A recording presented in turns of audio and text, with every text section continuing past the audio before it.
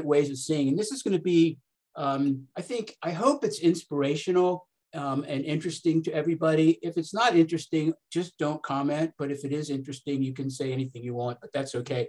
I don't want to go over a lot of photographs tonight and um, for a bunch of different types of points of view. And what I want to go, what I want to do is with with with that that being said, um, I'm not going to concentrate on all the photographs. There's a lot, but I do want to comment on a few of them. I'll stop and I'll um, you know go through some of the quick some of the uh, photographs, explain a little bit about them, why they I, why I've done what I've done, and then um, I even want to recommend a book at the end that you might find interesting. But the whole idea of being a point of view is to just really to be different. Um, everybody, you know, so many photographers will just stand there at their eye level, take a photograph, or they'll look look something and look at a flower and just take a picture and and, and from where they're standing. You know, and my, my point is don't shoot from that Kodak spot. You've all been to maybe Disney World or something like that and they have this sign up there, take the picture from here and, and whatever. And um, I, I'm, I'm going to suggest not taking the picture from there, even if it's in a perfect position, perfect place, and the vi visual is great. Um, I would say lay down on the ground and take the picture looking up or something. So we'll, we'll go over that. Uh, the other thing I think that's important about point of view is um, to highlight your subject. Um, we have some idea in our mind of what we want to show the viewer. And you know, how do we do that? So the tool that we have is the camera. How do we use the camera to highlight our subject? So I want to talk about the different points of view. And the points of view that I'm going to talk about, um, some at you know ad nauseum and some a little bit less are uh, bird's eye view. And I'm going to kind of start with simpler ones and go to ones that are a little bit more difficult. None of them are really hard, but just a little bit more you know, uh, thought process behind them. So really easy ones, bird's eye view, worm's eye view, close-up, detail, uh, frame within a frame, guideline of thirds. I don't call it a rule of thirds. I don't like rules. Um, Sandy was right about my um, rambunctiousness early in my days. I didn't like rules, but I like guidelines and uh, um, leading lines, recurring patterns, near far relationship, reflections, shadows as subject, truncation, juxtaposition, juxtaposition and tilt and tilt frame. So I want to go over all of these and we'll talk about them. And if you have questions, please, please feel free to um, put them in the chat. And at the end, I'll um, answer uh, questions if we have time.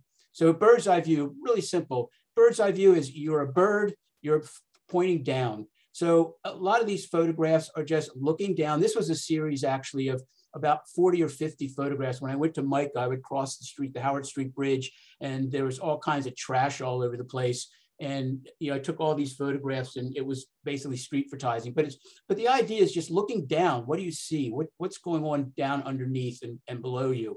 And people don't do that. They would stand on the street and just take pictures of people walking by if it's a street photograph. So these are easy kind of things to do. You can sit there and, you know, go up, go up to a, a, parking garage and just, you know, point your camera down at people if you want to and see what's going on. And you get some really interesting things, I think.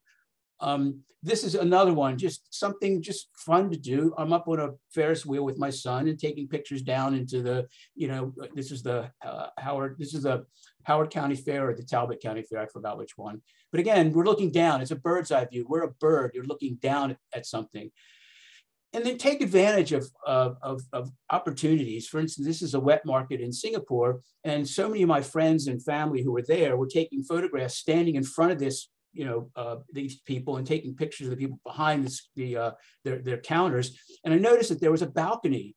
And so I went up to the balcony to get something different, to do a different point of view, and just took photographs looking down at these people cooking and doing their things um, at this at this market. So the idea is look around and see if there's opportunities for you to get a different point of view. All right. Um, this is just easy, easy things. I mean, you've all seen pictures from cruises, pictures of the ocean, pictures of the cruise ship itself. But so you do something different. I mean, I thought these these lines uh, that they used were just huge to tie up the, the, the ship. Same thing here. The other kind of point of view, and you'll see a couple of these, is horizontal or vertical. And I think that's kind of up to you how you want to do, how you want to show something, whether it's vertical or horizontal.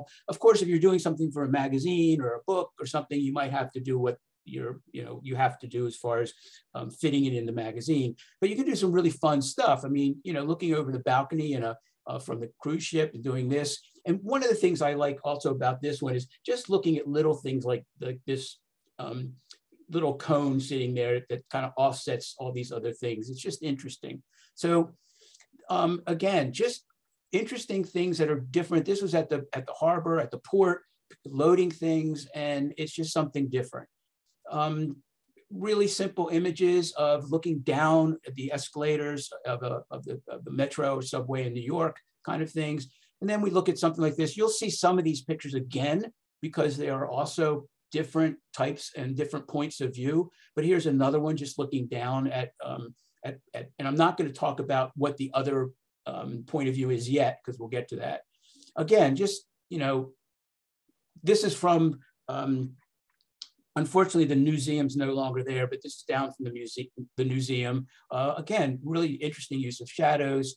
Um, 103 floors up on the um, Willis Tower, which was uh, um, the, the, the, Sears Tower uh, originally. But this was a, a, a, fun thing you can do. I made this full size actually and put it on the ground, uh, covered it with um, um, acrylic and had people stand on it. And it was very strange to watch people sitting on a concrete floor, and there were people who refused to stand on it, um, even though it's just a photograph on a floor. But if you do it well and you make it the right size and stuff, it looks pretty interesting. People actually stand on this and take photographs of themselves standing on it. And this is the photograph from that um, picture. And then just really beautiful stuff. I never knew that ferns would grow like this. And the only way to find out is to shoot down on it. And speaking of ice and taking pictures through ice, this was a frozen, um, a picture of, of frozen uh, creek. Um, let's go to worm's eye view. Really different, obviously. Um, this is, we're looking up. And here's easy shots. This is the cathedral down in Baltimore, um, the, the, rooftop, um, the dome. Very simple things, looking up, looking up, all right? You're a worm.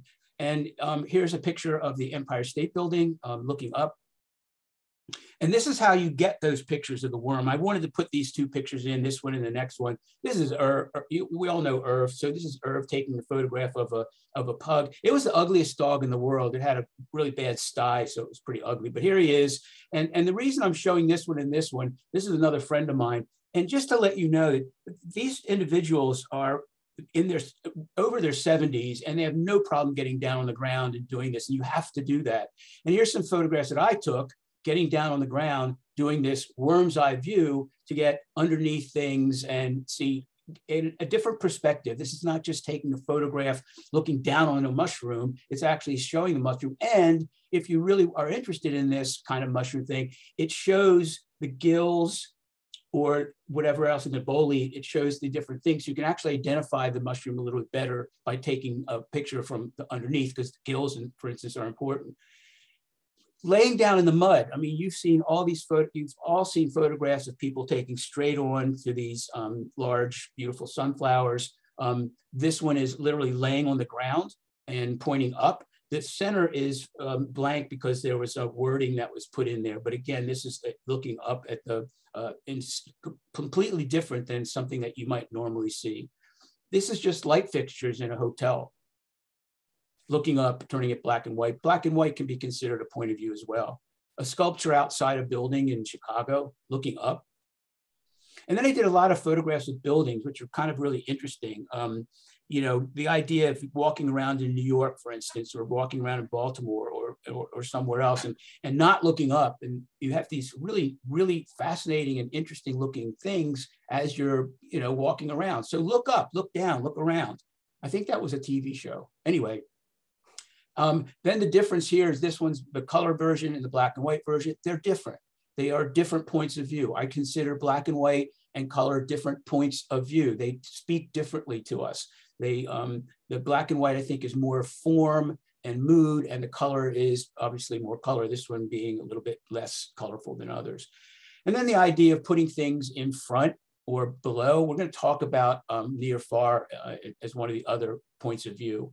Um, again, just looking up using the black and white uh, uh, conversion so that you can see these really interesting lines, interesting circles, but it's also the idea of looking up instead of right at it. Of course, some of these things you can't help but look up because they're either you know too, too close for you, you can't get up to another level, but you need to look up and see what's going on. Same here, here's just another one. And then there's something like this, where we're looking up, but then there's something in the foreground, these little lights here. And originally I would think of taking them out, but we'll see later that the idea of foreground and background and near and far can really help to see what something looks like. And the same thing here. This is just the this is the Batman. They call it the Batman Batman building in, in, in Nashville. Um, again, just looking up, just being something different. Fells Point, uh, uh, flea market at Fells Point.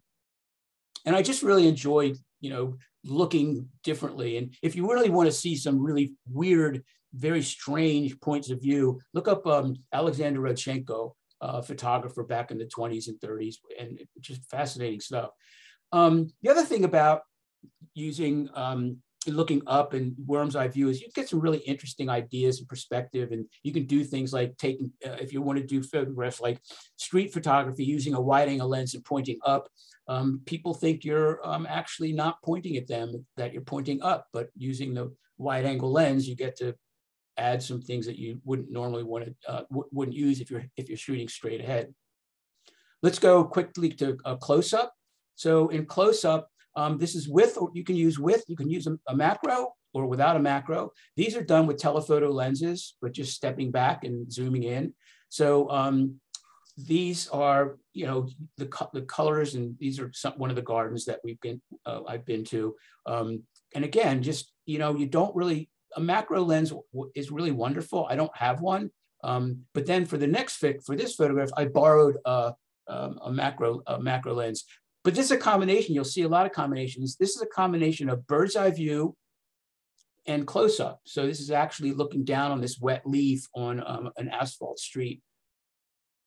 And again, um, using close up, this is using a, a wide angle, a very wide angle lens, a fisheye close up. Um, interestingly enough, I tell my class I don't want any pictures of leaves because everybody takes pictures of leaves unless there's something different. So here's a bunch of leaves that are um, old and dying, but they look really interesting. And then of course, close up can just be, and we'll see, we'll see something like this when we talk about truncation also. But this is again, a close up of the image. And um, we're gonna talk about uh, the, the, guideline of thirds too and how this works. And there's difference between the two, looking at these things. This one's an interesting photograph. It's okay. But I think the thing about this one is it makes it much more interesting with the with the um, rescue um, decal and the numbers. There's more to it. It's more. I think it's more interesting, but it's still considered a close up of what we what you normally see. Most people might step back and take uh, a photograph of the whole airplane or something. Um, but it's it's it's interesting. I know that several people in our club take uh, car photographs and they get really close and they'll just take a picture of an emblem or the or the fender or a light and I think that's kind of important. So getting close up to something is, is, is, is really helpful. And then you've got this um, using something close up. And, and one of the things I will mention even later is the idea of using different lenses for point of view. And for instance, there's no way to get close to this bird or to this sand crab um, unless you use a really long lens, because as soon as they see you coming or feel you coming, they're gone. So the only way to get a really good close up is to use a really long lens. This one actually happens to be a 500 millimeter lens with a 2x converter and a, a 1.5 crop factor on Nikon. Uh, so it's really a 1500 millimeter lens. Um, almost impossible to handhold or I mean to put on a tripod. Even on a tripod, you, you got to wait for it to stop bouncing around. But you can get close to things, so you can get close up. But how do you do it? With things like this, you can just walk right up to it and get close-ups. But with something like this, you definitely would need a different lens, but it's a different way of seeing it. Frame in a frame. I think this one's really important when you're talking about how do you highlight your particular uh, subject? How do you make sure that people see what you're trying to show them? And what you can do is use a frame, and I'll show you different types of frames. So frames can be these square doorway, uh, the doorways, the square pillars. This one has several frames in it. It's the pillars, it's the, the doorway, it's the second doorway, and the subject is the person standing behind, uh, at the back and you can't help but see that person. I mean, there's no way you can actually not see that person because of the framing. And in this one, it's an interesting framing too. But the problem with this one, and I'm showing it to you because it's a it's it's a mistake. It's wrong. The little boy, the boy walking by should really be in sort of toward a little bit towards the middle, more towards the left-hand side. So he's a little bit off the frame, out of the frame. So the timing is important too, but I would really much rather have this boy um, in the frame. Now, with new Photoshop tools, I could actually move the boy into the frame, but I don't want to worry about that. It's not fair.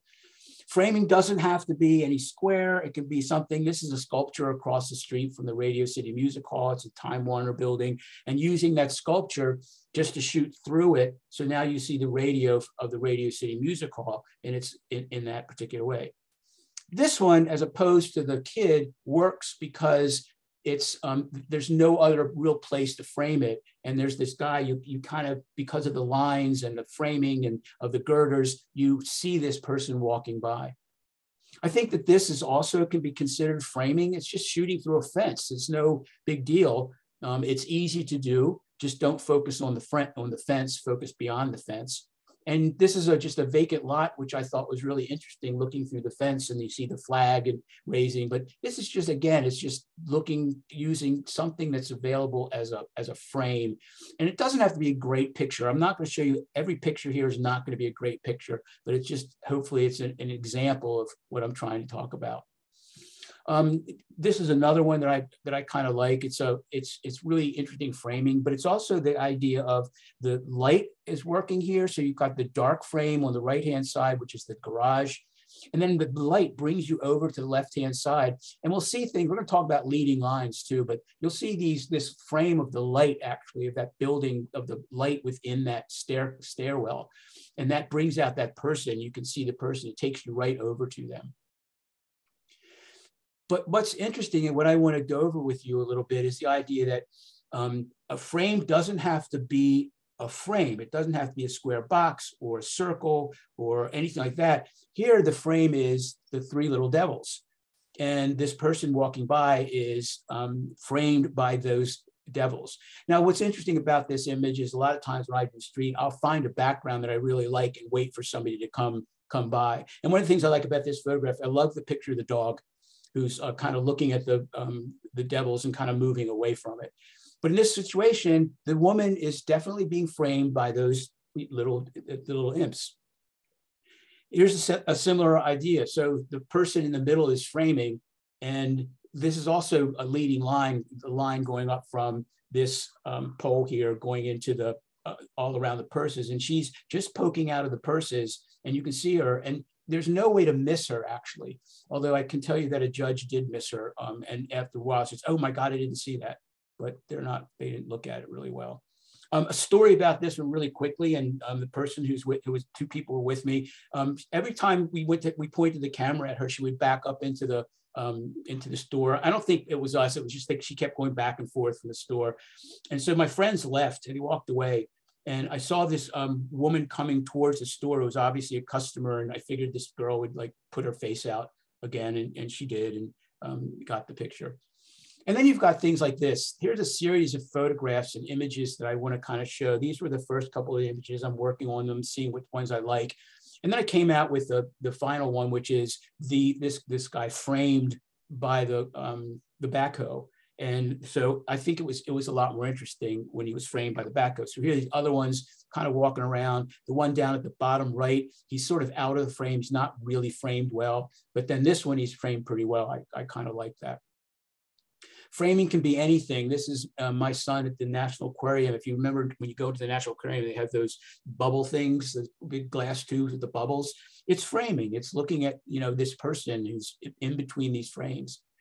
Um, this is um, Captain America, who's riding in the um, the metro in DC. And what's interesting about this, or um, um, uh, New York, I think, never mind. But um, what's interesting about this, I think, is that, um, again, we're going to talk about the guideline of thirds, the idea of you could put this in right in the center. I could have centered the, the doorway, the entranceway, whatever. But doing things like putting it off to the side, adding the sign, the danger, keep off the tracks, high voltage kind of thing, I think adds a little bit to the image. And then you've got something like this, which I would consider a double framing. So you've got the framing of the uh, Christ on the on the cross, and then you've got the framing of the homeless guy walking, um, and he's framed by the door. This is another image where you I sat and waited until something came by, that something interesting came by. So it's like kind of a double frame um, of what's going on. Same thing here. This is underneath um, um, the metro station in, in, uh, subway in, in, in New York um, waiting for a train and just looking across and using that whole framing idea of seeing the person sitting across the uh, uh across the tracks. And then this one I thought was really interesting. This was in um, uh, the Bahamas, and um, I just thought this was interesting. This could also be, we'll talk about juxtaposition uh, later on, but this could also be a juxtaposition shot. But it's again framing through this um, the stone, um, the gravestone of a with the cross into the um, gravestone of, of, of, the, of the Jewish star, the Star of David. Again, something interesting using the framing. Here's another issue of framing. We'll talk about this one again later too. And then things like this, I mean, this is a, you know, a really interesting, you know, idea of a frame, uh, framing the people, that the, the elephant handlers um, using the elephant as the, as the, as the frame. This is down at um, uh, Birmingham, Alabama. They have a gauntlet that you can you can uh, walk from the civil rights um, era, and just looking through these fences and looking at the kids, but moving moving yourself so that you can try to get everything into it. So you have the two statues in the back, and then you have the two kids in the front, um, so that you can again the framing of the idea is to really see what's going on, highlighting your your your um, subject very simple. This is just um, the, the um, in DC, the, um, the, the, train station in, in, DC. Again, just using what you have. It's, it's, it's kind of easy, but you really should, you need to look for it and figure out what you're doing. And then here's another example. Is it, does it work with vertical or does it work with horizontal, landscape or portrait? And of course, you know, you don't have to, you, we know that the actual um, um, subject here are the people in the boat, the fishing, the people fishing in the boat. And, um, but how do you frame it? So, and move around, see how you can do it. I, I like putting it off to the side. Again, we'll talk about that in a little bit. Um, this one is great. We know, now know where Elvis is uh, in New York. But here's a good story for this one. Um, when this one came up for, a, um, and this will give you an idea what I think of some of the judges. And I, am sorry I didn't mean to say that, but anyway, um, the judge who looked at this thought that it should be cropped to the window of just the window of Elvis.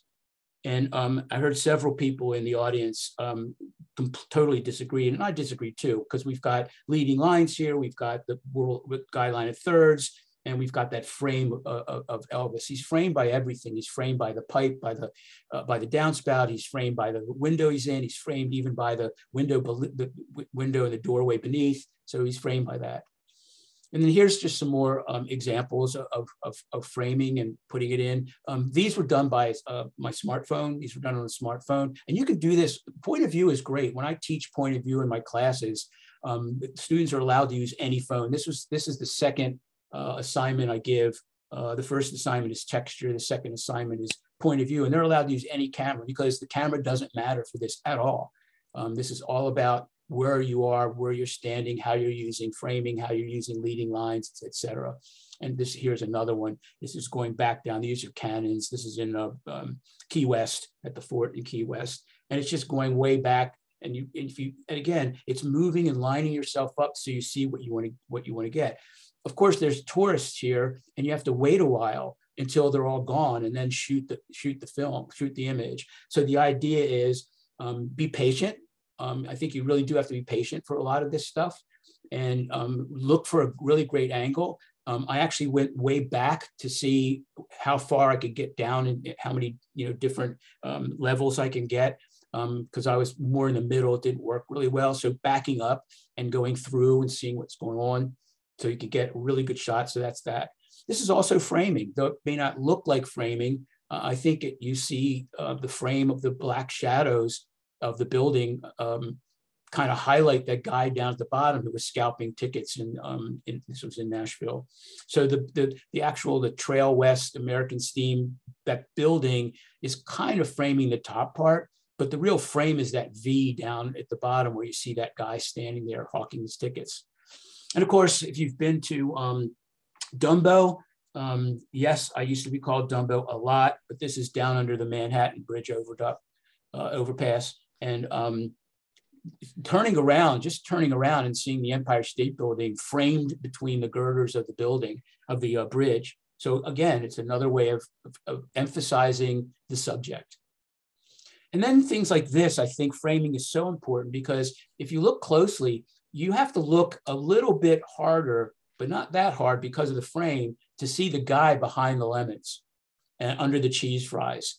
And you do see him most like mostly because of the frame. He's framed within that particular area. I think it's also looking, you know, seeing the frame of the coffee on the left-hand side is kind of interesting. It's a frame. Um, some will say you can't have two subjects, two, more than one subject in an image. Um, I, will disagree with that. But this subject obviously is the person kind of looking out. And he's also, his eye is framed by the lemons. So the, the idea, of the idea of, lemons lemon. kind of, you know, uh, the kind of dip in the lemons to, to, to um, highlight and frame the guy's eye. And here we've got um, what I consider, again, maybe you could call this multiple um, framing, multiple subjects. So you've got the multiple subject. You got the first subject on the left-hand side of the guy looking out. And the frame here is that out of focus toys that are uh, in front of him. But then if you look to the right-hand side and you kind of follow his gaze, um, you'll see another little thing framed, the little boy who's walking, you know, towards, um, walking in the, in the, in the, in the, in the uh, carnival area. And again framed by that blur. So when i talk about framing it doesn't have to be something specific. It doesn't have to really be something that oh my god that's a frame. It's something that frames or surrounds your image or uh, makes it so that you are looking at that image that you see your subject because you can't really look anywhere else here's another one this is a person i think who's um, there's two reasons for this one she's looking straight at the, straight at me. So you kind of, it kind of pops out, but she's also framed by those people and kind of framed by the signs. But a frame doesn't have to go all the way around either. A frame can be just this like U-shaped idea where this person is framed between. You really see her pretty, pretty clearly. This one is, um, I think the let's fix it is the is the subject here, but it's and it's framed by the the, the light light post and the and the um, and the um, street lamp post but it's also framed by the person on the right. So that's the part that kind of keeps you from going off to the right. But you have all these really interesting ideas of the let's fix it, the tax Wall Street, but the let's fix it pops out, I think, because of this of the of the um, light fixtures. And also, let's talk about the leading lines for a second. I'm gonna get more to that. If you look at the light fixture, there's also that no left turn sign, which kind of points back into that um, frame area. And then of course you can look at something like this and it's all frames. And I can tell you this, if you if you look at every one of these photographs, every one of these rooms really closely, like really blow them up and zoom in and look at them closely, you will see no people. And I got really frustrated with not seeing any people there, any, you know, watching TV or anything like that. And then I realized it was a really slow shutter speed.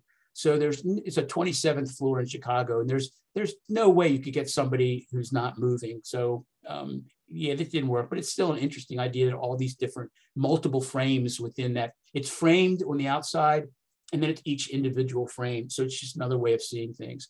And then I want to go, I'm kind of like uh, going to the guideline of thirds, uh, kind of splitting it up here, because I think what you'll, what you've seen previously and what you're going to see, you know, coming up are more things about composition and how that works and how that makes your uh, point of view stand out a bit better. So of course, we've always seen this kind of thing. And as a matter of fact, you can set this in your cameras to actually show this grid. And the idea here is that these, um, the large black dots are what called what we call PowerPoints. Um, and the PowerPoints are where you would normally place your um, subject. Um, there's uh, all kinds of stu studies that have been done on why this works and why it's important, but I think it's just important because it just looks good. And I think that's people talk, um, there's been writings on why it looks good, why it works. So this is one for uh, a vertical a portrait shot. Obviously the horse there is a PowerPoint is on the PowerPoint. And you'll see later on that it doesn't have to be directly on that PowerPoint, but it has to be in that area. We'll see that again. And then here's the landscape version of it. Um, just the PowerPoint is where the, those, those pretty umbrellas are, the people sleeping on the beach. And then we could talk about this. This is um, actually, this was a, a, a tank down in Baltimore, uh, a large vat. And it's, um, you can, it's, if you measure it, um, and you don't have to right now, but if you measure it, it's um, a golden triangle, a golden rectangle. Um, if you want to look up golden rectangle in Fibonacci, you can do so. Um, but it's kind of like, again, it's one of those things that people look at in, in composition on, on, how something works and, you know, what does it, what is, how does it, what does it do? How do, how does it make us feel? Um, we look at nautilus shells and, and, and, all kinds of things and how they, this, the uh, um, rectangle becomes the circle and becomes all kinds of interesting things. But I just thought this was interesting because it just shows what it is. Um, then this is, uh, uh, again, we're talking about uh, uh, guideline of thirds. And the important part of this is my son who's standing up in this window that, that pokes out from the Willis Tower, the Sears Tower. Um, and you can actually look down from it. And if you, I don't think you can see it, but behind him, there's a woman in another one who's actually trying to feel before she walks out on it, she's feeling to see if it's safe. Two things about this that are interesting. To clean them, they come in and then somebody walks out and you know um, when they come into the building they'll clean them. I always thought it'd be a really neat james bond introduction where the bad guy starts pushing him out and you know james bond falls but he has a parachute or something like that. Um, the other thing interesting is several years later there, you can see there's two levels. Uh, the, the first level uh, actually shattered which was kind of interesting. I was not there. I don't want to be there. And then again uh, guideline of the guideline of thirds um, yeah, the image is kind of halved, but the lighthouse is in that um, PowerPoint area. Same thing with portraits. Don't put somebody right in the middle unless there's ways, ways of doing that. Obviously, guidelines can be um, or rules can be broken, but obviously in this situation, put put put somebody, you know, his face is in that PowerPoint, so you you see him right away. Um, here's a similar image. The, the, the person on the left-hand side is the subject and we see that person because they're all the way over on that left hand side, all the way by themselves on that PowerPoint area or near the PowerPoint area. Same here, just using portraits to use, you know, um, to, to really visualize and show what's going on. In this situation, the same thing, finding a background and then putting something in front of it. Um, this is my son, but the thing that's other, the other interesting thing is if you look at the shadow in its face, and you'll see that the eye, the eye is actually at the at the one third area, that uh, you know, in the third upper upper right part of his eye. So here he is in the PowerPoint area of the guideline of thirds. But then if you look at his face, you've got his eye, which is also in that kind of um, area, that that that third type of area, that PowerPoint area within his face. So you can combine things. Here's another really good, uh, I think, a good example of, of, of using that um, guideline of thirds, putting him you know, as close to that area as you can. This one, I don't know if he's here, but this is for Lewis Katz. Um, he's, and I'm not a cat person, but this was, a, this photograph came out, I thought really nicely. And again, we're talking here, there's a multiple things. There's framing, and there's also um, the, the guideline of thirds. Again, a way to highlight your subject. We talked about, we showed this one earlier, but now I want to show it not as a framing issue, but as a, a rule of a guideline of thirds issue, putting the person way up in, in the upper left-hand corner, which I think is interesting because the ship is like this just plain white, uh, all this plain white surface. And then you've got this guy looking out the window, the, the cutting. Um, this, this was my tree. Um, many of us in our um, in the club have their their their own trees. Um, you'll, you'll see, you'll hear that man be banting about. This was my tree, it's no longer there. Um, and I don't have a problem um, taking pictures in the winter. As a matter of fact, this is one of the photographs of many that I show my students who uh, do take my classes in the winter, saying that there's no excuse for not going out and um, taking pictures in the winter. You get some great shots. This is just down in Worthington Valley area. So here, just example, the photo, the, the, the image, the, the, the, the subject is not necessarily in the directly in a PowerPoint, but the idea is it's not centered. it's off to a side. It's down near the bottom. You, you know, you, you have to look at it because everything else is kind of, there's nothing there. And you see this little stark tree just hanging out and, and sitting out there all by itself. It wouldn't work the same as if it was in the middle. Uh, the same, same thing here, you know, using a, that large space and the people down at the bottom, they're basically, let's say at the bottom third of this image.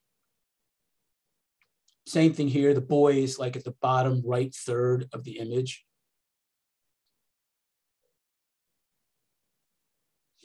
And then here's another one. This is one, um, a, a, serendipitous, we, I actually went, um, this was in um, Thailand, and um, we had finished writing a, a, the elephants, and I turned around and everybody's looking at the elephants and watching, and, and I turned around and, and saw this. And again, we're talking about the idea of using the thirds and putting a guy's foot, the mahout's foot, um, on the right-hand side.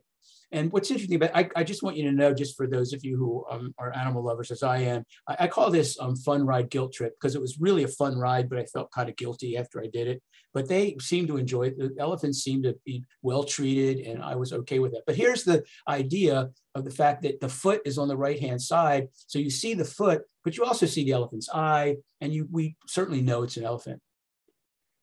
This one is really interesting. This one um, did really well in competition BCC, one of the first photographs I entered. It breaks the rule. It, it, it, breaks one of the rules, and one of the rules being, you know, the boat should be coming into the image, not going out of the image. But I think what makes this image is the wake of the boat. So what you do is you see that wake, which kind of balances out the boat moving off to the left-hand side. Also, because of the amount of space here and putting that boat, the crabber, very close to that PowerPoint, it really emphasizes that, that, that um, image, that, that subject. Same thing here. Here's, um, you know, obviously taking this idea of, of, of the, the guideline of thirds, which can also be considered balance. So we're balancing this big, heavy rock with all the smaller rocks on the right-hand side. Um, so it, it, it in, a, in way that kind of works too. It's kind of satisfying instead of that rock being, you know, sitting right in the middle.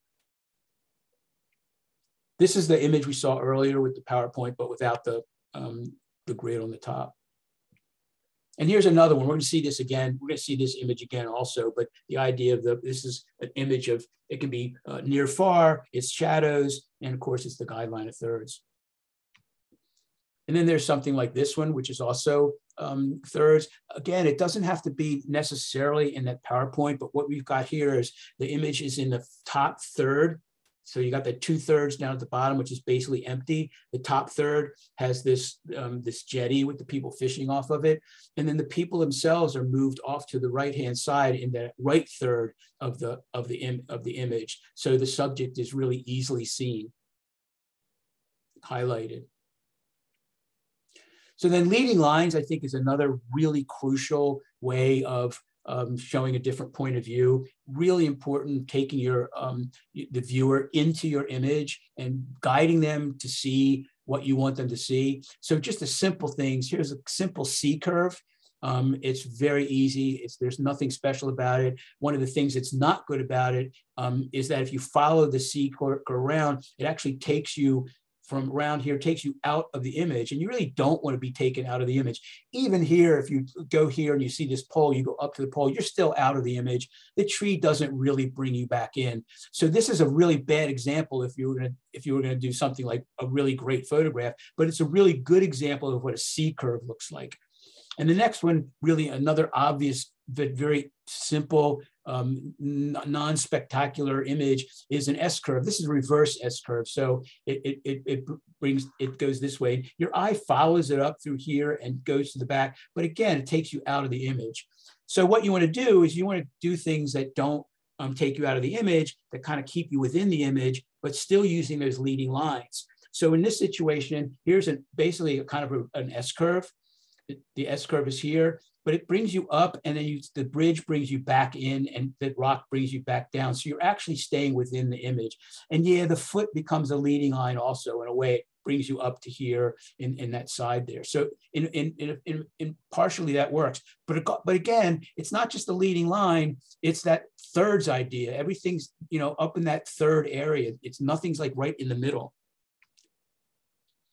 here's another one. And one of the ideas also, and see a couple more of these, is the leading lines don't necessarily have to lead you directly to a subject. The subject can be the image itself. So in this situation, it's leading you back into the image, into this thing. And as the fog grows, your eye kind of like doesn't leave the, Im the image. It kind of stays there. And maybe it even gets hooked up on this tree in the center. But the idea is you start from the left-hand side, you follow this rail down and you're, you're, you're there. This is the Antietam Courthouse. Um, yeah. Um, but anyway, the, um, the um, yeah, uh, uh whatever, I'm confused myself. Um, again, same thing here, but here's the idea of using pattern necessarily as a, as a, um, uh, leading lines. The, the leading lines here are the trees, but also the posts and the rails. And basically it's just leading you back into the image. It doesn't leave. Okay, if you notice, if you notice here, it doesn't leave. So the trees come back here, they end around here, the posts and the rails come back here. So it's, in other words, it's taking you into the image. There's really, the image itself is the subject. And this is one way of showing it. And then of course, I'm looking at um, vertical or horizontal. I don't know. And then the thing about this one, you'll notice that in this left-hand one, it's kind of like the, um, the thirds, guideline of thirds, but the one on the right is a little bit more centered, a little bit more centered, because what we have here is we have the two leading lines in the triangle leading back into that, into that tree. So in this situation, you can put it a little bit um, um, centered. Um, I also want you to know for those people who are like really uh, about um, horizontal um, and, and, level uh, horizons, um, look at the tree. This is level. It happens to be a hill. So um, if you look at some of the posts in the tree, it's it is level. Just wanted to make that clear. Again, something this is leading back. Obviously, the the um, lighthouse is the subject that I want to show, and so I'm using that modified zigzag S curve to um, bring you back into it. Here's several leading lines. You've got the, um, the, the, the, cliff here, you've got the logs, you've even got this um, other um, stick here bringing you into that area. Using patterns as, um, as um, leading lines, the patterns of the, the, the, the portals, yes, the roof, but you also have the portals, top and bottom leading back into this. This is a black, this is a color image that um, I turned into black and white. And then really simple stuff. I mean, this is really easy. This is on a cruise ship and they have everything lined up and there's a nice S curve that's just bringing you into the um, image of all this stuff that's going on, um, the, the, towers, and whatever of the, of the cruise ship. Just another image of um, using the using um, the fence fencing to go back. Again, um, this is not a line, but it's a pattern that forms a line. All right. So it's like an implied line. So implied lines are really interesting, and they don't have to be going straight out. So here's a, a here's a here's a C curve, but it's a vertical C curve. This is the bridge at Howard Street, Howard Street Bridge. So you can do use the leading line that takes you up. It takes you up and back back down. In the foreground here, the, the subject could be the, a graffiti that's on the bridge. Again, leading lines don't have to be straight ahead. And then we saw this picture previously um, for a bird's eye view of the people here. But one of the things that takes you down to those people are the steps, right? The, the uh, fire escapes. They'll take you down towards these people. So the, again, guiding down through the steps, but also the windows kind of take you down to see what's going on below.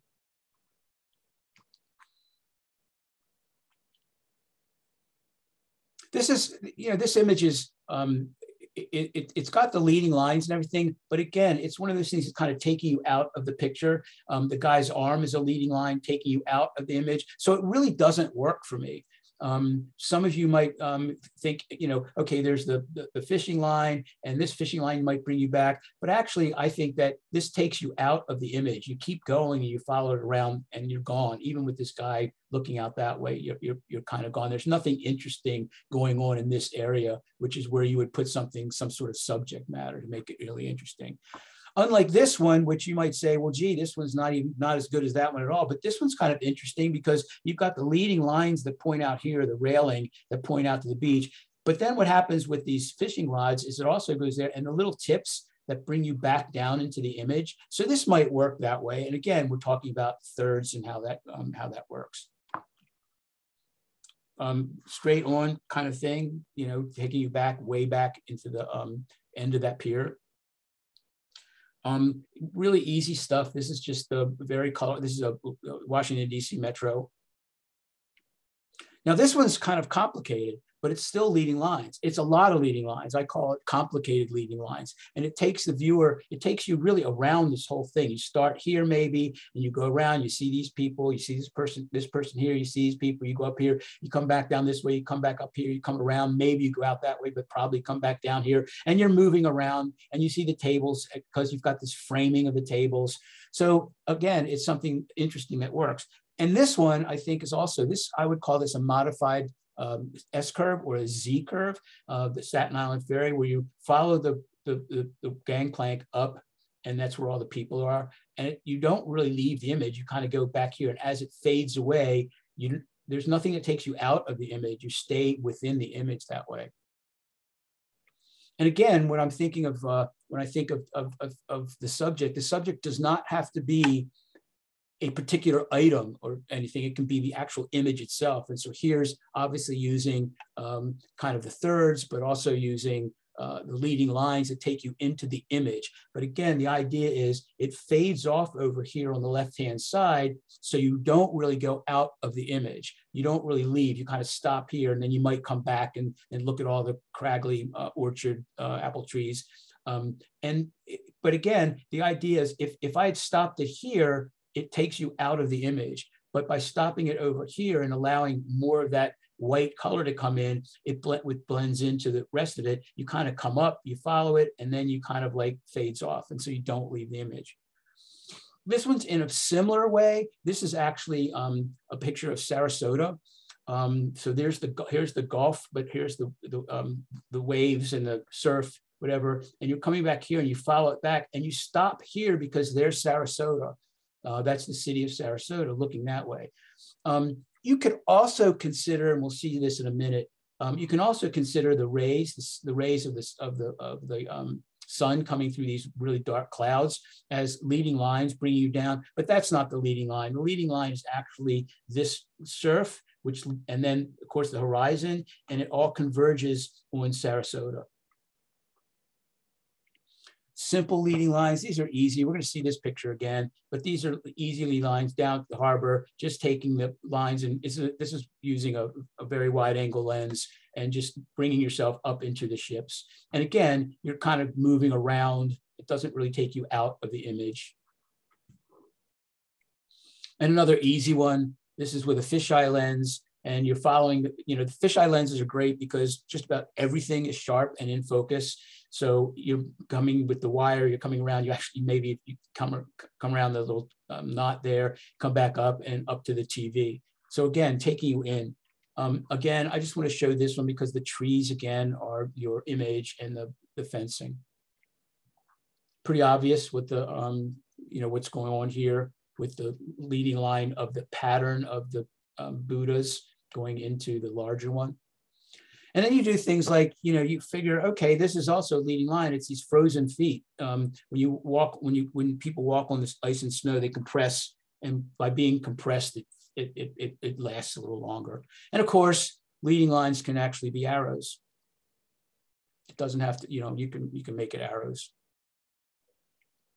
Here's um, the one the um, if you look at this picture closely, the, the actual subject of the image is the guy back here reading. So this is not the subject of the image, even though a judge said, um, did you did you ask him if you could take his picture? And, and, it was like, no, he was asleep, so I wasn't going to bother him. But the ant, but the, the, the the real image is the guy back here because the chairs are you see him first, and then the chairs go the chairs lead you back to the guy who's reading the book over here. So what's your subject? And then some really subtle stuff. So subtle images. This is this is Lake Michigan, by the way, frozen in a, on a February several years ago. Um, it's fresh water, so it freezes pretty quickly. But here's the leading lines. The lines are the different folds in the in the ice that actually take you back, especially the first ones here. They take you back into the image and take you into the ice. These are about 12 to maybe 15 feet high. And then if anybody can look at this one and give me an idea what you think the um, the uh, leading line is, um, this is an implied leading line. And you have to look for stuff like this, which makes it really interesting. So the subject matter is the guy with the, you know, the British kind of hat, the, the, the, the, the get up that he's wearing, the costume. The line is the woman's gaze back here. So this woman who's looking at him, all right, that's the leading line. There's no line here. This is not, I wouldn't consider this tent a line. It's her eyes. Her eyes are the line. She's watching this guy, looking at this guy, sort of emphasized by this woman's hand, but it's the eyes. So you see him, you look at her because she's all the way over to the side by herself. And there you and there she's looking at this guy. And um, that's the leading line. So the leading line can be all kinds of things that lead your viewer into the image or into and onto a subject. All right, so near far relationship, we've seen some of that. I think near far relationship is kind of like a leading line also. You're look, but it's more like something in the foreground to leading you into the background. So I want to show you a couple of these images. So here we've got the, the, the, the foreground, the, the, the, near is the um, plants and the dead hay or whatever that is, leading you back into the, um, the building in the background. It's also framed by the trees and this little mountain here. Using the, um, this is, this is um, TALA, the Trans Allegheny Lunatic Asylum. They have tours there. Um, I think we want to plan a, a trip out there sometime for the club again, the idea of near far, but it's, a, I think it's the idea of something looking really near and you're looking back, it's a lead type of leading line. We could also say that the gaze is the leading line back to the woman buying something. We've seen this before. This is near far. So the big um, cleat in the beginning, in, in the front, leading you back with a line to the, to the boats.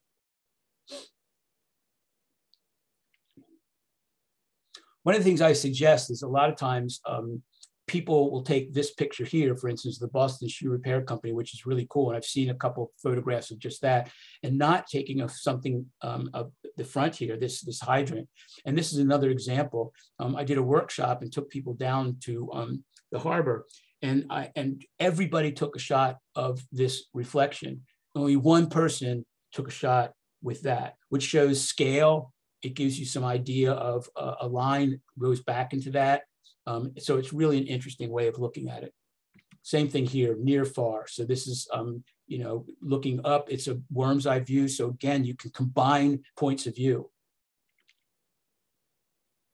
If you've never been to the um, Trolley Museum down uh, on Falls Road, you're missing something, you need to go. Again, foreground and background. And I just want to comment for those of you who do enter competitions, watch what you title things if you title this boat on the uh, um, golf, um, the judge will say, well, the boat's out of focus, so um, you can't title it that. One of the neat things I think about um, with near far is you get this really interesting scale and perspective. So um, this is not a little tiny person. This is a regular sized person, but we're so close to this monument with this person walking underneath that you see um, this really interesting perspective and scale. Again, part of near far.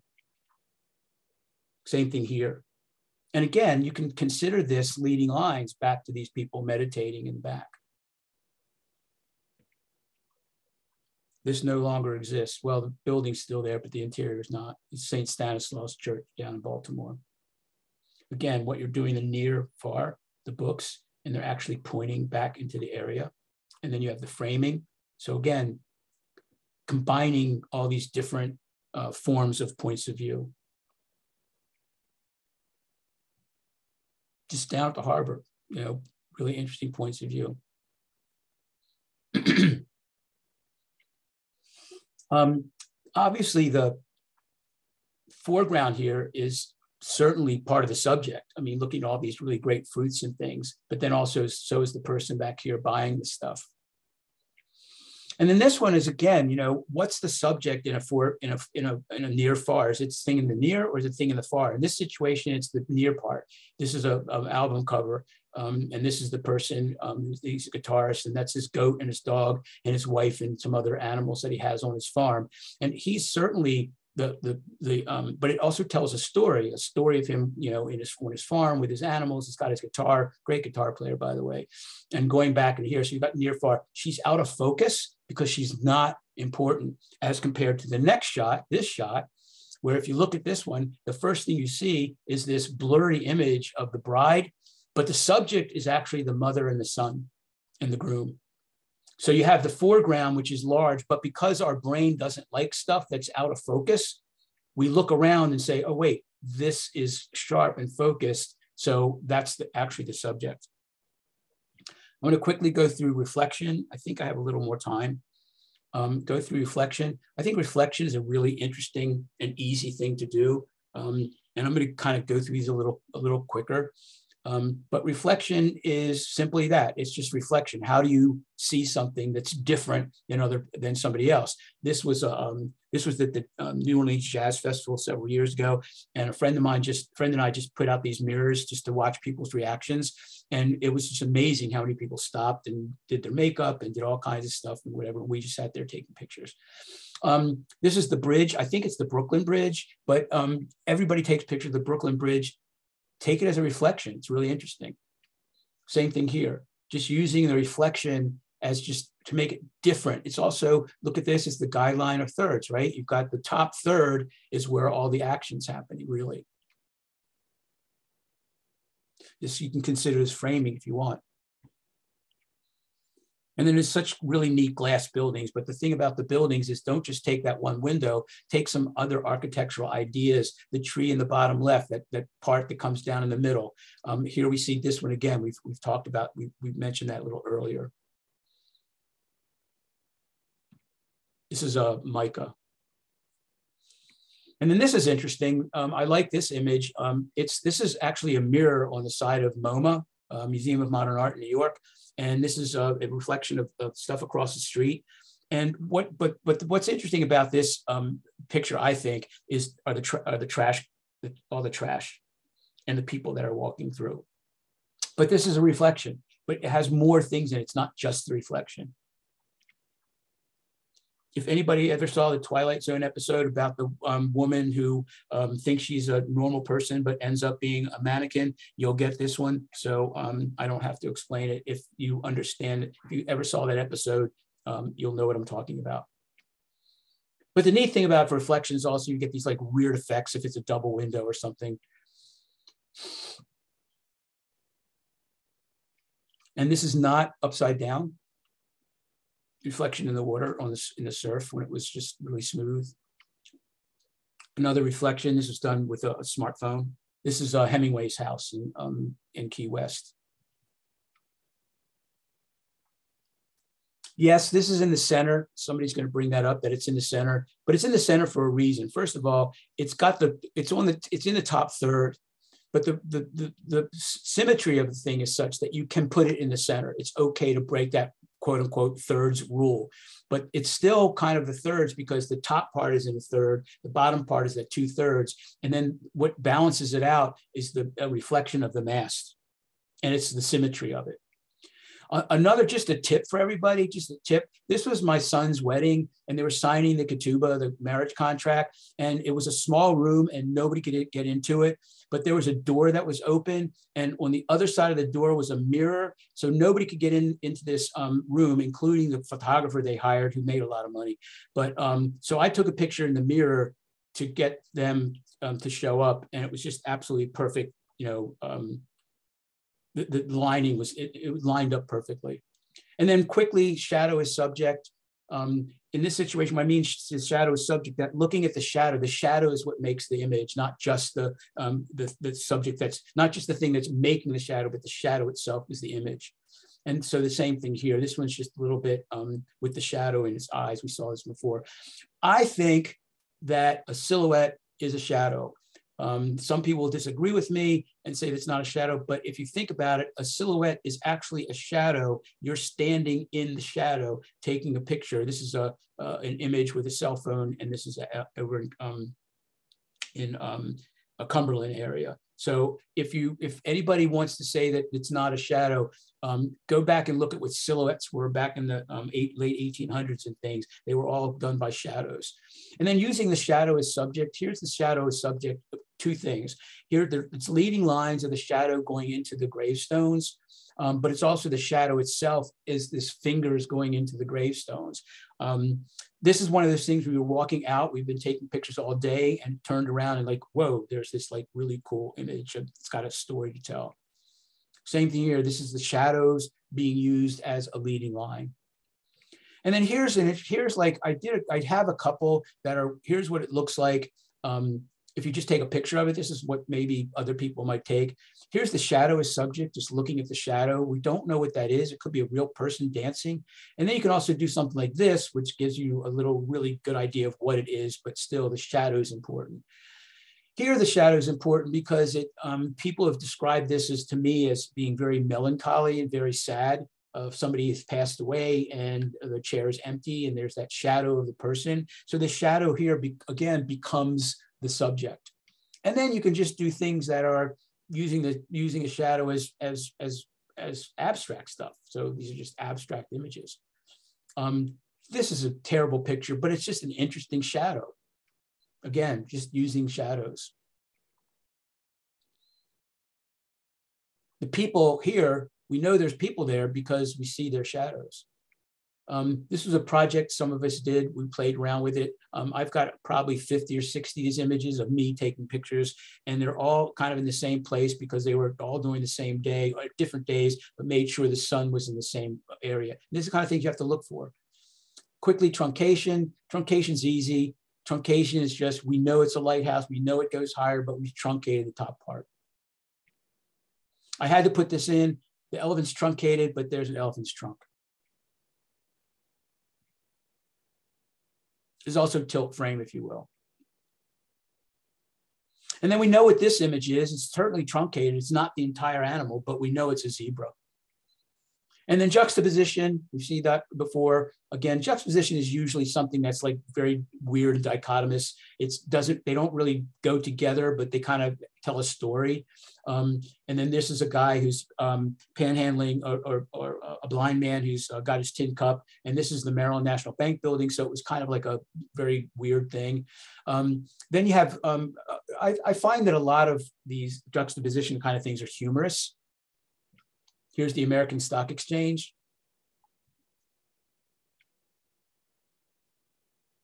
So again, it's it's it's showing something that doesn't really go. So of course there's no lifeguard on duty. The, the whole lake is frozen. The, no parking signs make this interesting with all the little all the carriages. This is Bogger's um, orchard.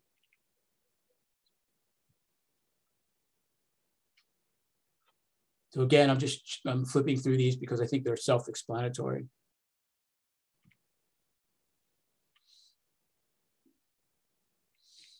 This, this is one of my favorites. Where will you sleep tonight? Areas off limits to ghost hunters, um, uh, ghosts only. And then very quickly, tilt frame. Tilt frame again lets you put more into the image than you would if you um, did it straight up and down. As you all know, when they give you the measurement of a TV, the 75 inch screens are really 75 inch diagonally, not um, left to right. And then just finally, I just wanted to give, there's other lenses. We looked at telephoto lenses, but I also play with fisheye lenses because I think they're really interesting. Um, they can be kind of some fun stuff. And a fisheye lens gives you a completely and totally weird uh, point of view. These are Forest Haven.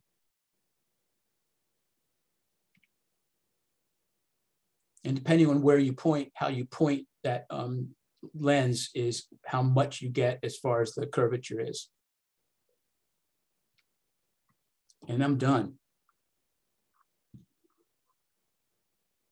Well, Steve, wow, thank you.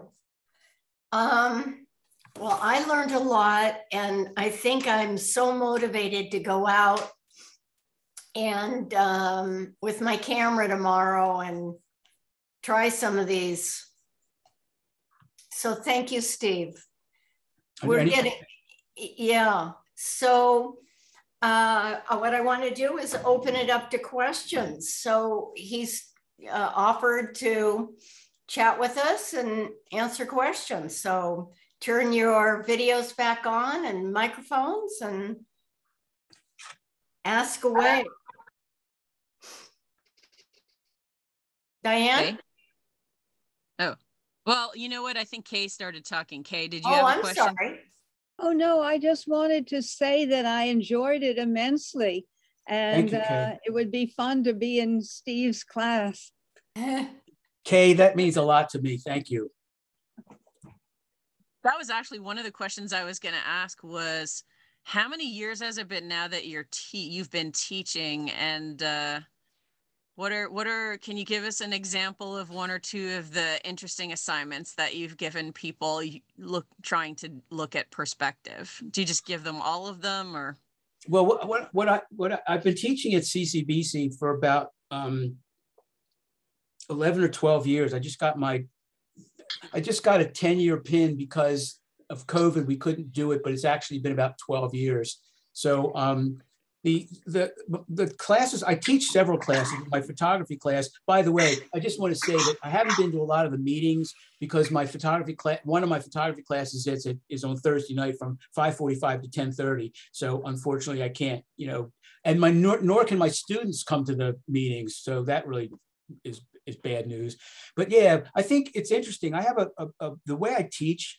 Um, I teach from something like the most simplest thing all the way up through other things. And, and the idea for the students is to put things together. So we start with texture because I think texture is really important and texture is really easy. So the first two assignments, the, the students are allowed to use any camera they have, a cell phone, um, a, a smartphone, a point and shoot, whatever. And then when they get to the other um, assignments, they have to start using a regular camera. So we talk about texture and why it's important. then we do point of view, which I think is incredibly important, but you can put texture with that. So you combine those. And the next assignment, we'll do something like um, um, motion. So that's uh, using the shutter. Um, we do aperture, which is not really, um, it has nothing really to do with light and how much light comes in. It's um, aperture has to do with depth of field and how do you do things like the photograph I showed of the of the bride and the um, groom and the mother. Excuse me. That's using a, depth of field. How do you use a depth of field? So we talk about that. Then we do some other things, and there's other assignments. And at the end, it's putting all that stuff together and coming up with their own. You know, what do they do to um, combine all these, or what have they learned um, using all these different techniques and put together some really interesting assignments. So it goes kind of like it's a progression of whatever. And this is digital one.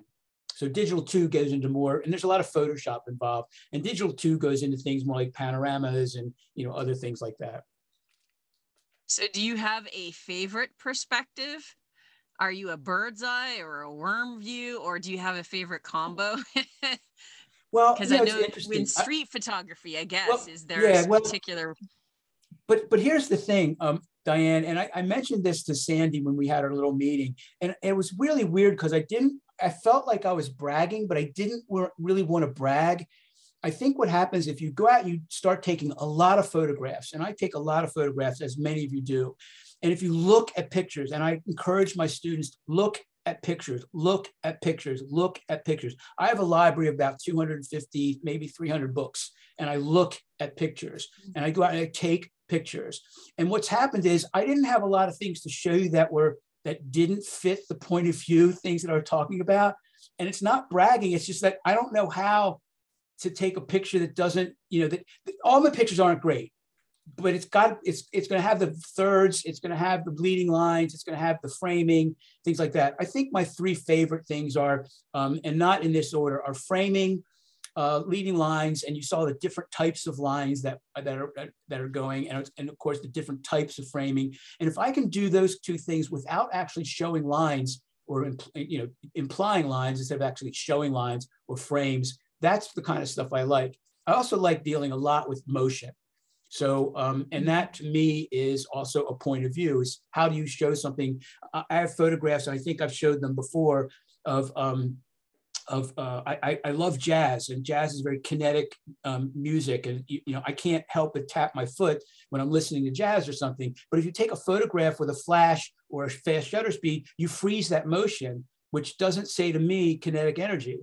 So um, slowing down the shutter speed, for instance, gives you that blur, which now you're talking about. I can show you images later on, but I think I did show them a, you know, a different um, um, different uh, lecture.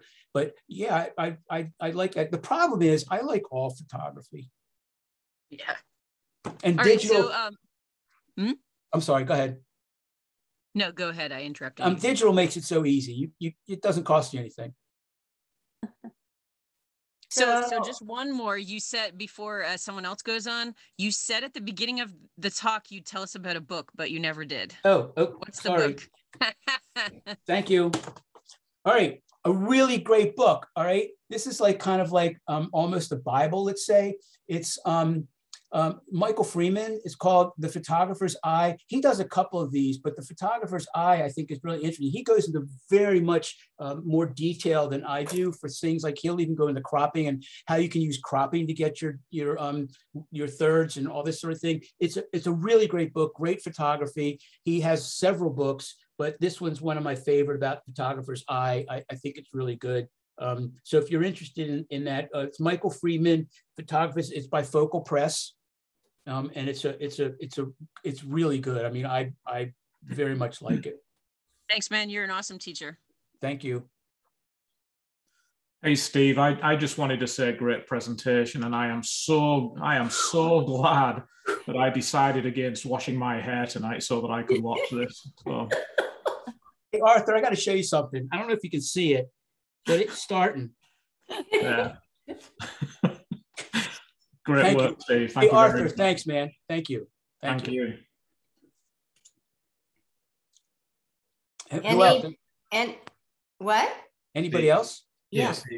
I just want to make a comment. I just, uh, this is Kenny. Hey, I thought Kenny. your, uh, your presentation was very impactful and um, showed a different, a lot of different views that we as photographers need to, you know, keep in mind, pay attention to, that can really uh, take our photography t- to a different level. And I just want to thank you for your presentation. I think it was, you had a lot and, um, and it was very impactful and I enjoyed it.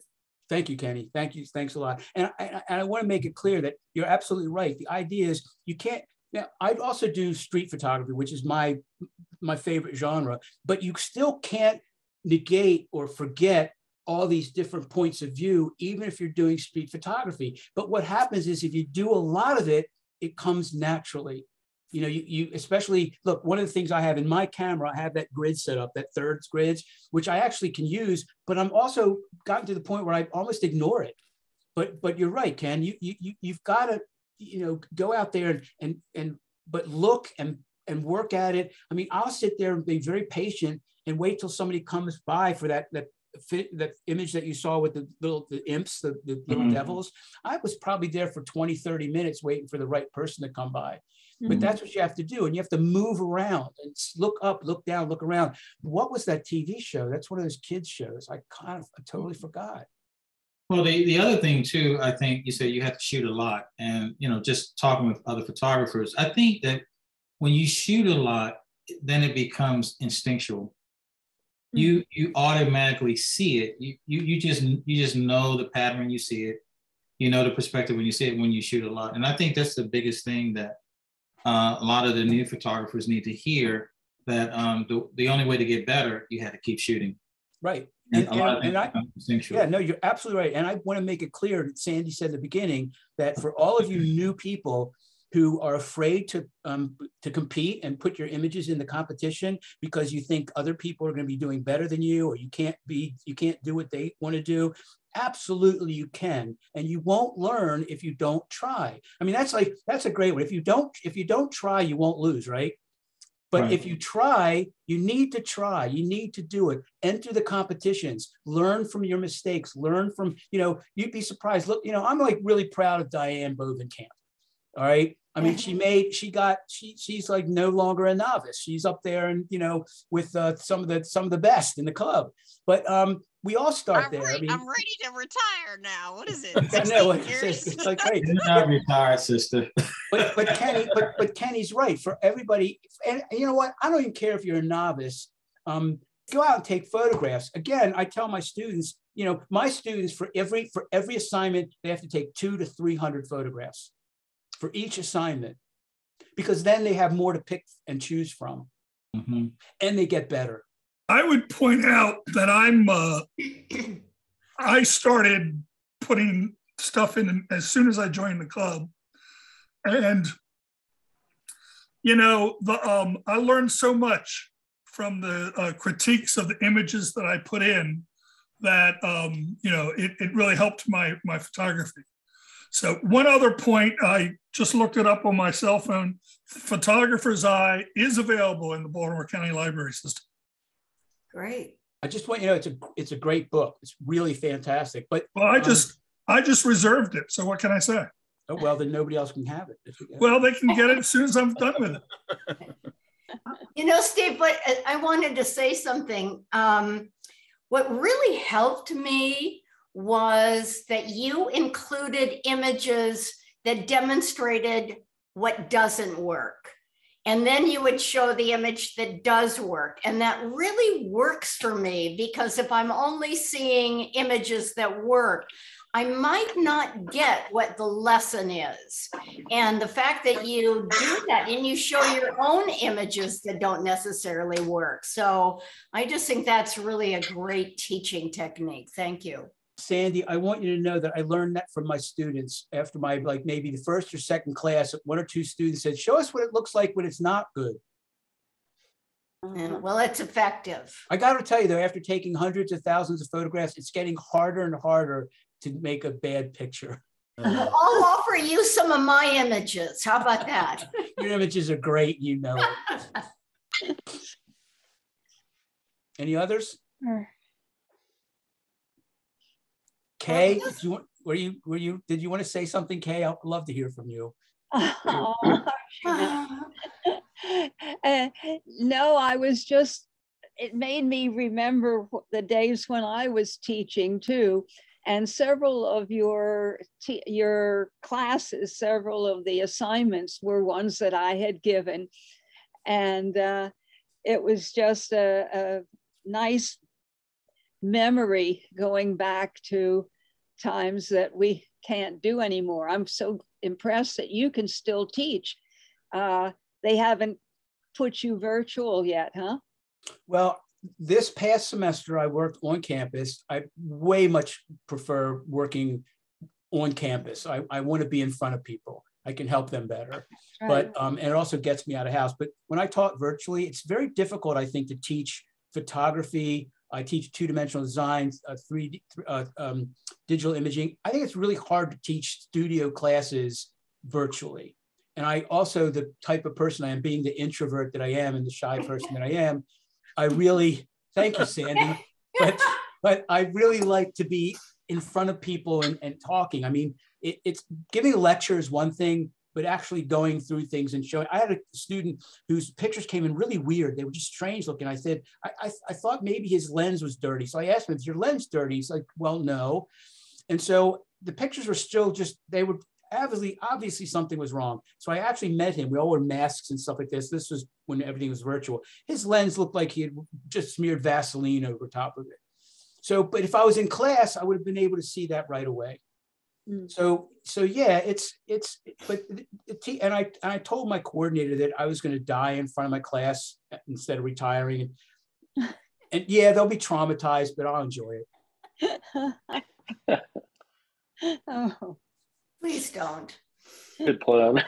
No, I'm talking like 80 or 90 years old. I mean, I'm not not yet. I'm not ready. Even though you reduced my age by 10 years, that was really nice, Sandy. I thought you meant you were going to get Omicron.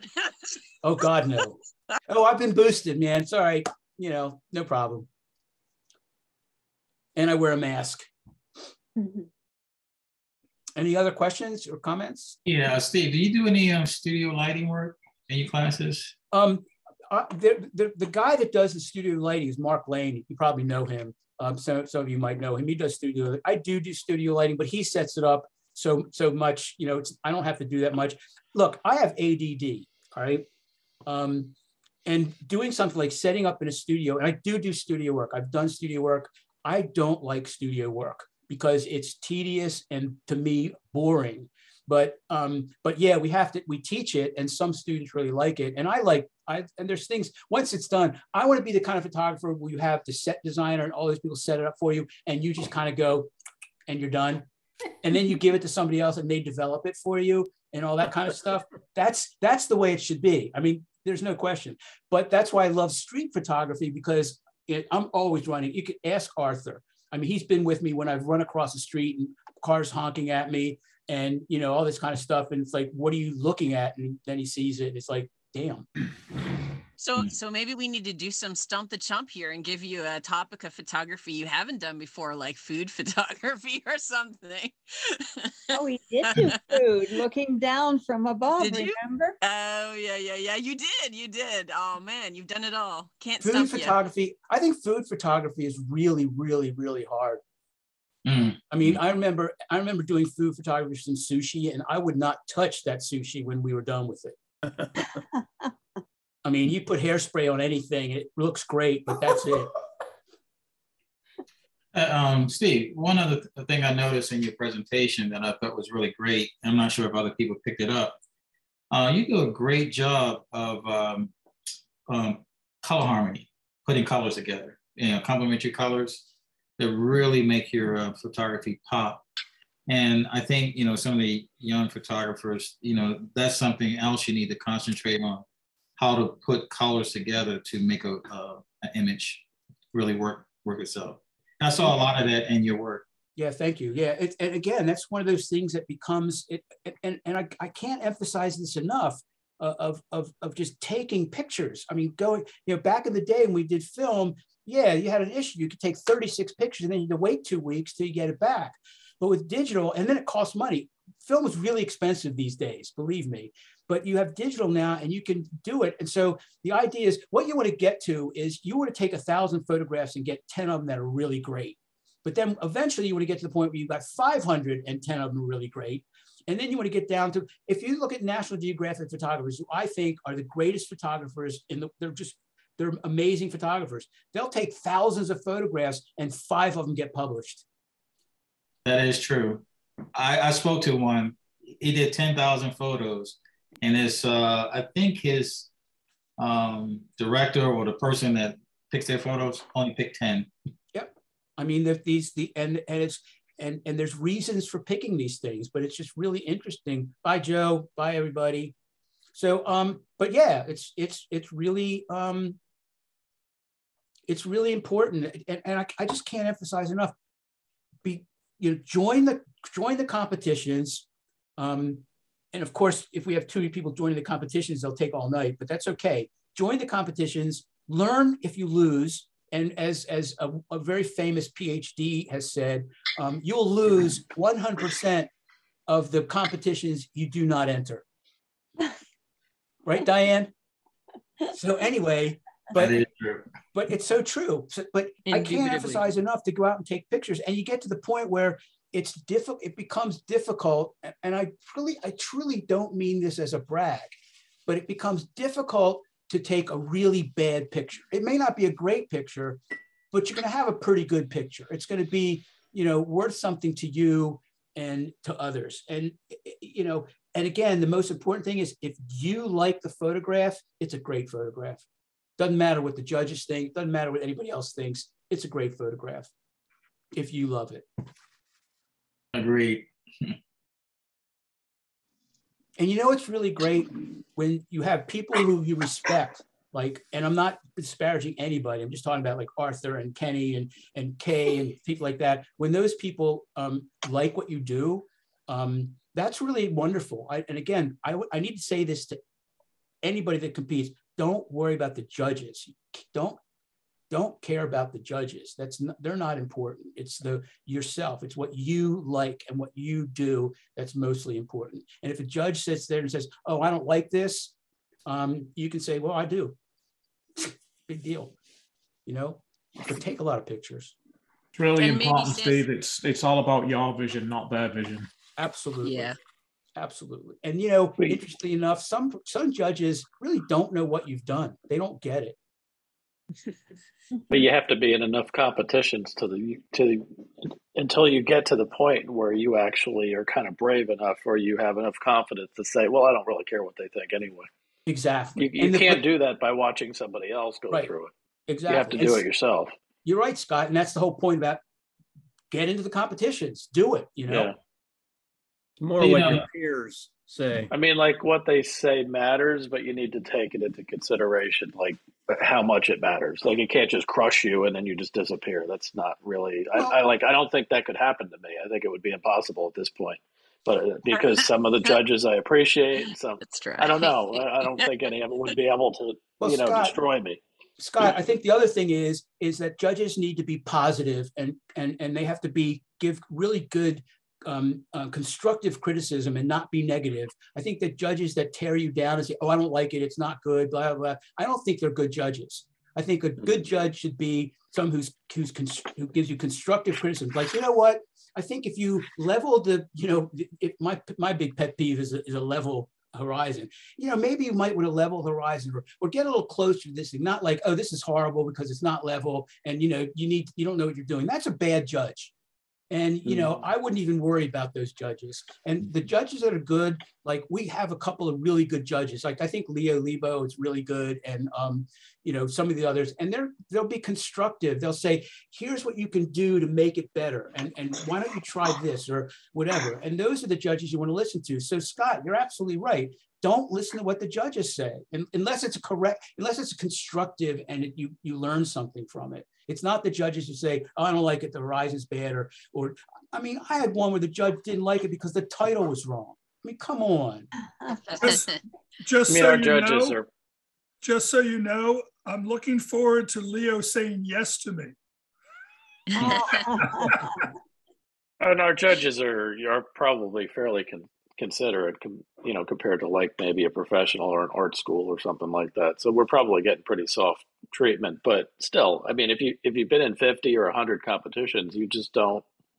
It just doesn't really faze you that much. You just hear what they say, and you don't really worry. It doesn't ruin your life if they if you don't they don't like you. Listen, I Well, also and- think it's I think it's really important also to get to get to the judges and do stuff with and let the club see what you're doing because I remember when I was starting photography, well, I was four years old, but my photography, my parents, my friends and family always said, Oh, your pictures are great. Wow, you have great pictures. Those are awesome. And I was like, Yeah. yeah, of course they're going to say that, you know. So then I joined the club, and people were there were saying, "Hey, your pictures are pretty good," or "This one didn't win a competition," or "This one was good." That that was meant more to me, obviously, than my parents saying, "Oh, your pictures are great." Yeah, if you meant a lot you take too, like yeah. You go out and take a thousand pictures too, and you have enough sense to not show nine hundred of them. I mean, it just comes naturally because in the beginning you show everything, and that's just dumb because they're you know you just need to have some sense, and I think you just like learn so- that by curating, you know, opening. yeah, by curating a soft- portfolio. Well, a soft opening or trying of ideas to kind of jump off that for people who haven't entered. I know there's some people in here who haven't entered yet. Sandy, when is our next critique night? Maybe we can have one. That's a good way to put your vision in front of people and get feedback. We do not currently have a critique night schedule. Oh, on the schedule, I just can't remember where it is. Hang on, I'm gonna look it up right now. Okay. And or people could all also share on Facebook, I guess, for feedback. Well. I, I would encourage people to use the, uh, the club's, uh, Facebook, uh, site for putting images out. I put them out fairly frequently. And Yeah, I, for feedback. and I get, you know, good. fe- I mean, I put one up recently and Jim said, you should try that in black and white. And I did, and he was right. And I reposted it. So Yeah. So just because it was mentioned, it's February 24th that we've got one coming up and another one in May, and there'll be another one during the summer. So I build it in every few months, one. Yeah. Good? good. Yep. I No, w- no excuses. Yeah? I was wrong. I stand corrected. Yeah, I just, it's just not on the um, calendar. There's some adjustments I have to make because we had a cancellation. So I'll have that updated this week with the help It's of good to see everybody again. Uh, I just want to make one more comment, and I said this earlier, and I, I really mean this. It's not the camera. Yeah. The eye. And um, Steve, that was a comment I was ready to make when we talk about um, just put your stuff in, don't worry about judges.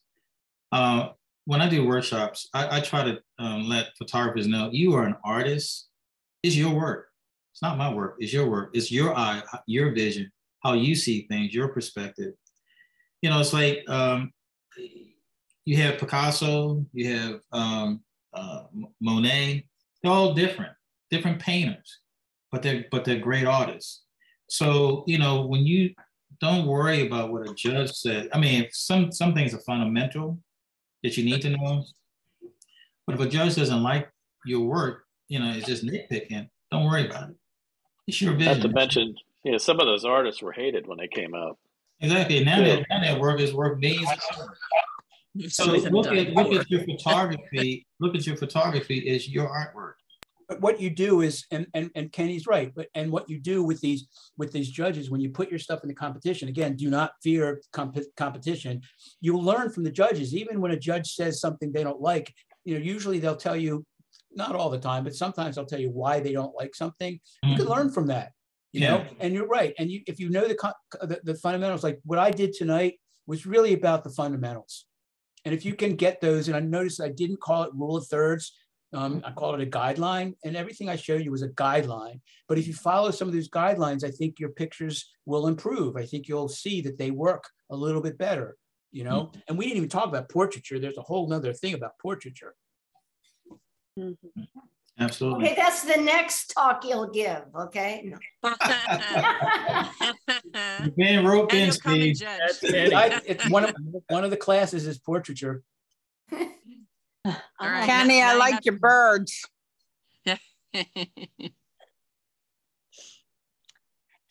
Any other comments? Yeah. Cool. Thanks. Steve. Okay, it's Appreciate nine, yeah. Well, thanks for having me, everybody. Oh my God, thank you, Steve. Thanks, Thank Steve. You. Thank you, Steve. Yeah, it was Thank you, amazing. Learned so much. You're a great teacher, as everybody has said. And, Thank and you. Arthur, Arthur's, I- I'm just, I'm really ecstatic that Arthur said it was okay that he didn't have to do his hair. I'm gonna I'm gonna go I'm gonna go do it right now. All right, it's all you, you And, hung and out. Arthur is Well, going wait a to be, minute. All and- two minutes. Well, also, we never, also, you know, you remember, he turned off his video and his mic, so we're not really sure if he actually stayed. I, I, I, I stayed. I actually I actually made notes, Steve. Oh my God. You can, you Wow. can give a quiz. 10 characters Notice- on there. Well, notice I kept them all on a single. I kept them all on a single sheet of paper. So I see, I saw that on, a- on on don't get don't get too excited. They're all, they're all, they're all here. And, and we have in March, um, Arthur speaking.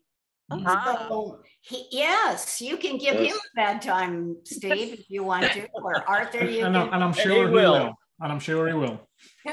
I look forward to it. Yeah, but, but Arthur, I do have hair that I can wash. Please do. Okay. Although Okay, it's going, although it is going, I gotta say. okay. All right, thanks, Bye everybody. All right, Okay, everybody. bye. Thank you, everybody. Bye. Bye bye. Night. Thank you. Don't change, Steve. Shoot your macros. Right. I'm gonna end the meeting.